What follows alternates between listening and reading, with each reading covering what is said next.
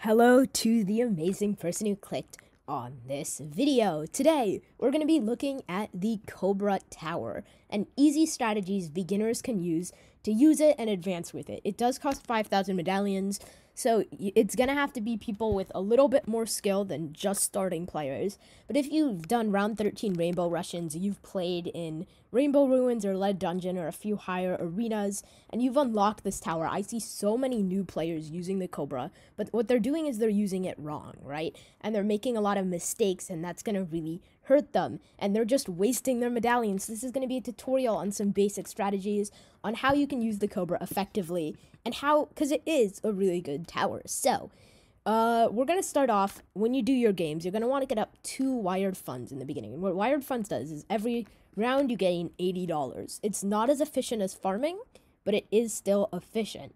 So you want to get up these wired funds. This is going to be your money making source. So you're going to want to start off the game with two wired funds. I'll say this later, unless they anti stall and you're not going to be able to get up two wired funds, then you're only going to want to get up one. Don't worry about that. I'll show you that later in a game example. But yeah, so you never want to go for this double tap, doubles Cobra attack speed. In the beginning, you're going to want to get up these wired funds. You're going to have the bloon adjustment and attrition upgrade here. Bloon adjustment is really good. This is what you're mainly going to be using to kill your opponents with if you go Cobra. So, what you're going to use for bloon adjustment is you're going to um, start bloon adjusting by round 16 because that's when the AI gets really good. And you're really not going to want to apply bloon adjustment before round 16 when you're going with Cobra because unless if they have camo detection on their towers because it can be good to force camo detection um or early camo detection on their towers but you're really not going to want to use bloon adjustment before round 16. Attrition, it isn't really that good in a game. It's good in tournaments because if you hit the round limit of the tournament, whoever has more lives wins. So if you can take off a few lives with attrition, that's good. But it's really not that great in normal game. It's a lot of money early game and late game, one or two lives doesn't really matter. So, Monkey Stim, decrease tower power cooldown. These two upgrades aren't really used a lot. Um, but they can help, I guess. Oh, okay. and tier four, offensive push. So this is really good. And this, when you use this, you can send a ZOMG on really early rounds. And this is especially good if you do mega boosts or speed or game modes like that. But um, yeah, uh, this is going to be used, and I'm going to show you how you can use it. And then this is misdirection. So what misdirection does is you're going to want to get up a few of these if the game starts going late game. And this misdirects. So if a uh, BFB comes down on your screen, it will push it to the other person's screen. The only problem is you can't micro with it. Because as soon as you get up a misdirection, there's like a little cooldown thing. Um, and it's one of the only, I think it's the only uh, tower that does that. So I'm going to show you two basic strategies that you can use now that you kind of understand the tower a little bit more. So the first strategy, and I'm just going to hop into, uh, it's Cobra's really good in old school, but there is no old school out. So let's just hop into CC boosts only.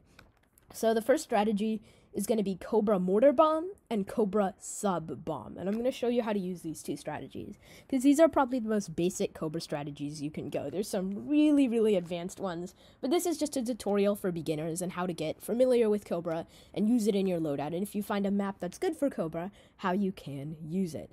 Okay, so we are up against Lil Chapin. And yeah, so this is pretty much your average CC player. And we're on Moon Landing. This map it's pretty good for tack, but um, uh, it also works for Cobra. So I'm just gonna be showing that Cobra Mortar Bomb. Oh, they're skipping it. Okay. So interchange. This is a perfect Cobra map. This is one of the best Cobra maps, so I'm actually really glad we got it. So I'm gonna go Cobra Mortar Bomb. And yeah, here we go. So, uh, doesn't, I mean, I don't really use my force uh, unless they use their force. Um, if you want to try to get a good fourth, go for it, but I'm not that type of player. So we're going to start off the game with one Cobra, and you're always going to want to set all your Cobras on strong. We're going to get it to wired funds. And it does not look like they're anti-stalling, which means they're popping the balloons immediately. Which means we're going to be able to go for our second Cobra. So, yep, they're farming. This is good. Cobra beats farming, unless they're doing NFE, but I don't think this is really an NFE map. So we have uh, two wired funds cobras. This is amazing. And you're going to immediately want to start ecoing to like 500. And they're not rushing us. if you're playing Cobra, you always want to rush the Cobra. You want to send the Cobra a lot of reds. But because they're not rushing us, we're just going to keep ecoing here. Both our Cobras are set. They're rushing us with blues. This is bad. You always want to rush a Cobra with reds. But you know what? We're chilling here, right? And we're going to start going for this mortar right now. So we're going to get our mortar up probably in this top corner here. We're going to set it right here.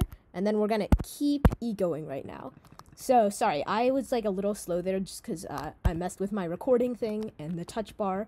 But yeah, okay, so we're just keep going here. They're saying, oops, I think they got up their wrong farm. I'm not completely sure. So they're sending us some pinks. So I'm going to get another Cobra. All of them are set on strong. And Cobras pop two balloons with every shot, which is really good. Um, so Cobras are good against a single popping power compared to a mortar, which is good against group popping power. And that's why the strategy works pretty well. So we have up, uh, they're getting up their Spolt already. Um, and we're just chilling here. We're getting up our Cobras and we're ecoing. And you want to eco to 500 before you start Cobra spamming. So yeah, this is a good strategy. Here we go. So um, we have up our mortar and we're to start sending greens. Um, just to eco as fast as possible. If they start rushing us, we can get up a Bernie stuff. We can get up more Cobras, kind of depending on what they're rushing us with. I could have max ecoed a little faster. But look at this. We're playing aggro, and they're forced to get up defense. They can't get up two plantations round six. It's round seven now. They're losing lives. Look at this. Cobra's pretty darn good. We have up three Cobras. We're getting 160 each round. This is false, by the way. Uh, it whenever my uh, computer is not turned off, like uh, shut off. It says it's on. So go, go away. Okay, yes. all right. Um, here we go. Here we go. Okay, yeah. All right. Yes. Um, but uh, we're at 519, and I'm greeting a little bit with this uh, strategy. Just because they're not rushing us, I'm going for a little more eco, and we're gonna start spamming these wired funds now. Of course, always set on strong, and you're gonna want to kind of spread these cobras across the map. Because what cobras are good for with this strategy is black popping power because the mortar, um, not good at hitting blacks, and neither is the bomb. The bomb's really bad at hitting blacks. So we're setting them all on strong. We're getting up these, and as you can see, they sold their Spolt, which is not really good for them because they're just gonna have to get it back. Oh, they're going Dart from Wiz. Oh, okay, so they just got up their Wizard to defend leads. Alright, and they're sending me some stuff. So, of course, we're just gonna get up defense here. And yeah, I may have greeted this, so I may have to boost. That's okay. Uh, but they're not sending me that much, so I am just going to road spike that, and we should be good here. I'm going to get up my bigger blasts, and for round 12, I'm going to need up... Oh, I already have up camo detection. Okay. And we're going to also get up a bomb here, because they could round 13 rush us. They round 13 rush ups, we sell our bomb, we boost, and we... Oh, sorry, we sell all our Cobras, we boost, and we get up a Bloon Impact. This will defend round 13 rushes. But because it does not appear that they are rushing us, we can just keep spamming these bloon adjustments. So that's what that's exactly what we're gonna do. So we're spamming these bloon adjustments. They're on strong. We're getting up more cobras, spamming these bloon adjustments. I'm just kind of trying to explain what I'm doing here. And once we get to round 15, once we have 1, 2, 3, 4, 5, 6, 7, 8, 9, 10, 11, 12, 13, 14, 15. 15 cobras is pretty greedy for bloon adjustment, so I'm going to stop here. I'm going to save up money to start bloon adjusting. Oh, for Oh, shoot. They're rushing me with that. Okay. Yep, they're rushing me with some stuff. But I should be good here. So I'm getting up my missile launcher. A couple uh, camos snuck through. But I'm going to start bloon adjusting them. It's round 16. I'm a little late to doing it. I'm not really paying attention perfectly. Just because um, I'm focusing on commentating. But we're going to want to start bloon adjusting as soon as round 16 starts. Round 16 and round 18, those are the really dirty rounds, right? And if these uh, things on round 17, these camos start sneaking through, you're going to want to just get up another mortar with camo detection. Um, you don't even have to get bigger blasts, set it down here. But yeah, uh, it appears that we are defending fine. They're sending us another one of those, which means we're just going to get up this, and we're going to play this rather safe. So I'm just going to get that up, and I think they think we got camo detection on that, because they stopped sending, and we didn't. But that's because we're sneaky. Look at this. Look at this. Oh, shoot. They are rushing us here. Maybe they meant to tower boost. They're at two lives. And the Cobra is gonna... No. Oh, it looks like they died there. It actually just looked like they died. But you know what? That's okay. we're just gonna get up our bloon adjustments here, uh, setting all our Cobras on strong, of course.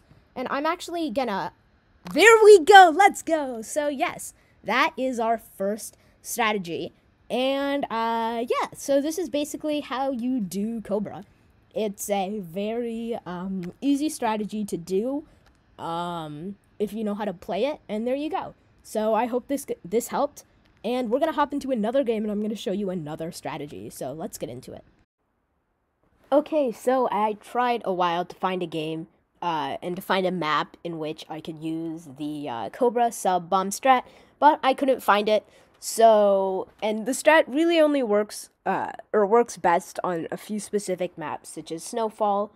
Um, but a lot of other strategies work there too that you can use, so you don't really have to use Cobra specifically for that map. So, unlike Interchange, in which Cobra is definitely meta.